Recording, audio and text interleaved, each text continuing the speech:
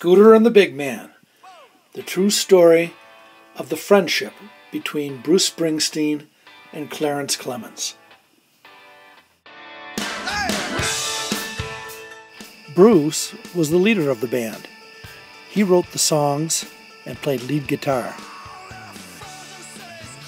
Clarence played saxophone and was a key member of the E Street Band. Together, they made rock and roll and musical history.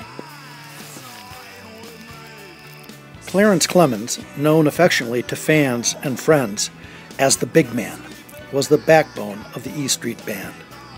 He always lifted me up, Springsteen said back in 1999, way, way up. Together we told a story of the possibilities of friendship, a story older than the ones that I was writing, and a story I never could have told without him by my side. So much has been said and written about the stormy night in Asbury Park in 1971 when Clemons met Springsteen that it's hard to separate fact from myth. At the time, Springsteen was a struggling musician playing the New Jersey bar circuit, and Clemons was a former college football player who spent his nights playing sax in the clubs on the shore. It was raining and thundering, Clemons wrote in his memoir. When I opened the door, it blew off the hinges and flew down the street. Somebody introduced me to Bruce, and he asked me if I wanted to sit in. Springsteen remembers he got up on stage, and a sound came out of his horn that seemed to rattle the glasses behind the bar and threatened to blow out the back wall. The door literally blew off the club in a storm that night, and I knew I had found my sax player. But there was something else, something else that happened we stood side by side. Some energy, some unspoken story. For years, Clarence has been my source of myth and light, and enormous strength for me on stage. Clemons was the only member of the band on the cover of an album with Springsteen. When you open it up and see Clarence and me together, the album begins to work its magic, said Springsteen. Over the next decades, Clemons became the most recognizable member of the group thanks to his massive size, equally large personality, and his on-stage role as Springsteen's foil.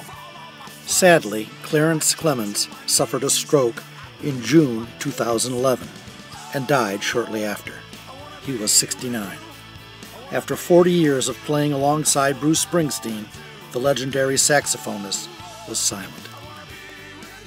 In a statement, Bruce Springsteen said, He was my great friend, my partner, and with Clarence at my side, my band and I were able to tell a story far deeper than those simply contained in our music. His life, his memory, and his love will live on in that story and in our band.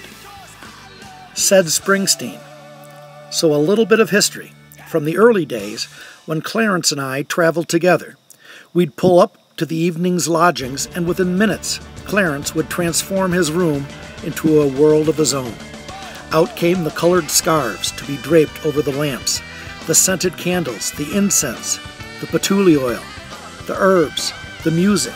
The day would be banished, entertainment would come and go, and Clarence was the shaman, and he would reign and work his magic night after night. Clarence's ability to enjoy Clarence was incredible. Every night, in every place, the magic came flying out of C's suitcase. As soon as success allowed, his dressing room would take on the same trappings as his hotel room, until a visit there was like a trip to a sovereign nation. C always knew how to live. Somewhere along the way, all this was christened the Temple of Soul, and C presided, smiling over its secrets and pleasures. Being allowed admittance to the temple's wonders was a lovely thing. Clarence's life never proceeded in a straight line.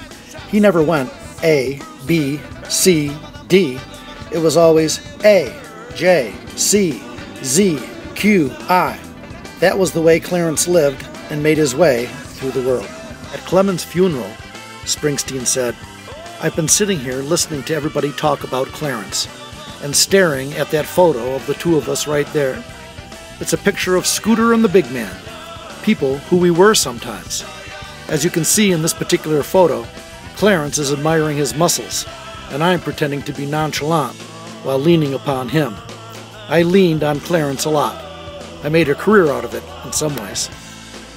In concert, during the nightly band introductions, Springsteen always saved Clemons for the end. He would say something like, So, ladies and gentlemen, always last, but never least, let's hear it for the master of disaster, the big kahuna, the man with the PhD in sexual healing, the Duke of Paducah, the king of the world.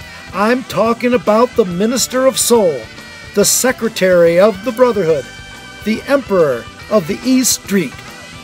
Do I even have to say his name?